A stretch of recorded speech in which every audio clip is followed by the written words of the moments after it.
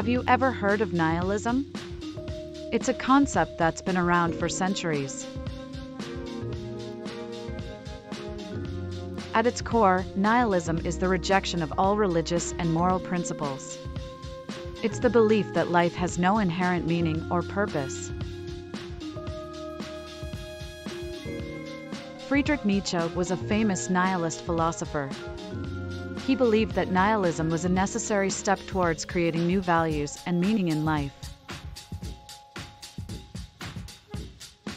Jean Paul Sartre was another philosopher who explored nihilism. He believed that it was up to individuals to create their own meaning in life. While nihilism can seem bleak, it can also be liberating. It frees us from the constraints of societal norms and allows us to create our own values.